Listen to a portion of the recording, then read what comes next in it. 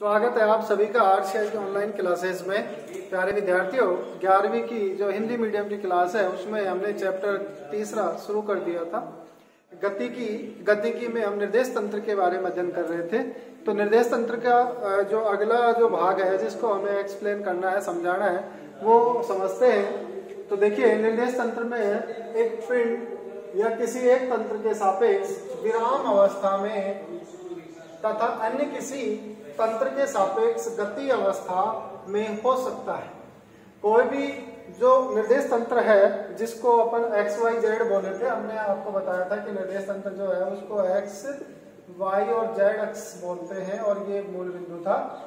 तो निर्देश तंत्र जो है, किसी भी पिंड के सापेक्ष विराम अवस्था में भी हो सकता है और गति अवस्था में। विराम अवस्था में कैसे होगा? विराम अवस्था की बात करें तो जैसे आपके पास अगर कोई व्यक्ति पृथ्वी पर खड़ा है, पृथ्वी पर पृथ्वी पर खड़ा है तो उसका जो निर्देश तंत्र है, वो विराम अवस्था में रहेगा, यानी कि स्थिर रहेगा। और अगर कोई व्यक्ति किसी रेलगाड़ी में रेलगाड़ी में, या फिर हम बात करें कि किसी बस में, अगर है व्यक्ति तो वो उसका जो निर्देश तंत्र होगा, वो किस अवस्था में रहेगा, वो गति अवस्था में रहेगा। किसके सापेक्ष? एक पिंड के सापेक्ष। पिंड का मतलब किसी पेड़ पौधे को अगर अपन देखें तो पृथ्वी पर देखते हैं तो वो स्थिर दिखाई देता है। और स्थिर दिखाई देता है, इसका मतलब वो स्थिर निर्देश तंत्र में है। और अगर वो अपन रेलगाड़ी में है, या हम कहें कि अब किसी बस में है तो उसके सापेक्ष अगर अपन देखते हैं तो पेड़ पौधे और मकान जो है हमें पीछे की ओर जाते हुए दिखाई देते हैं। तो इससे ये क्लियर होता है कि जो किसी एक पिंड या किसी हम कहें कि एक पेड़ के सापेक्ष जो है वो निर्देश तंत्र स्थिर भी रह सकता है और गतिमान अवस्था में भी हो सकता है। आगे, आगे देखते हैं।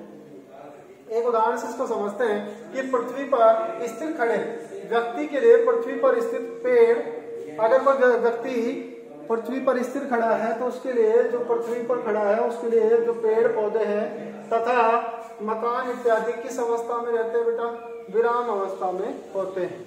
जब कोई व्यक्ति कहाँ खड़ा होता है? पृथ्वी पर। लेकिन अगर कोई व्यक्ति रेलगाड़ी में बैठा है, रेलगाड़ी में बैठे हुए व्यक्ति के लिए उपरोक्त सभी वस्तुएँ रेलगाड़ी की विपरीत दिशा में गतिशील होती हुई प्रतीत होती है। यानी कि अगर वो रेलगाड़ी में बैठा है तो उसको गतिशील प्रतीत होती है। अच्छा जी, निर्देश तंत्र किसको बोलते हैं? इसको देख लेते हैं। निर्देश तंत्र में परस्पर लंबक तीन सरल रेखी अक्ष होते हैं।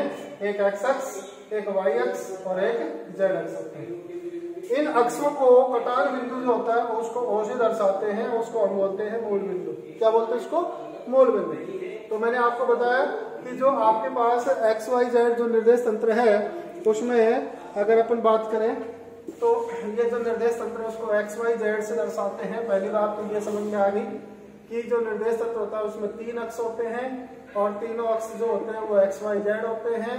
एक्स वाई जेड और जो तीनों अक्ष जहाँ पे काटते हैं, वहाँ पे होता है आपका मोल बिंदु। दूसरा, ये स्थिर भी हो सकता है, यानी कि विराम अवस्था में भी हो सकता है। विराम अवस्था में भी हो सकता है और गतिमान अवस्था में भी हो सकता है। विराम अवस्था में रहेगा तो पेड़ पौधे चाहे पेड़ हो, पौधे हो, या फिर मकान हो, वो सभी हमें कैसे दिखाई देंगे? स्थिर दिखाई देंगे। और अगर गतिमान अवस्था में है तो हमें कैसे दिखाई देंगे? अगर ये, अगर आप किसी रेलगाड़ी में है, या बस में है, रेलगाड़ी या बस में तो हमारे पास जो पेड़ पौधे मकान, ये सब गतिमान अवस्था में दिखाई देते हैं तो हम कहेंगे कि हम निर्देश, जो गतिशील निर्देश तंत्र है, उसमें उपस्थित है। ठीक है? इस तरह से इसको हम बोलते हैं निर्देश तंत्र। ध्यान से इस पूरे चैप्टर को ध्यान से पढ़ते हुए चलना है, तभी हमें समझ में आएगा।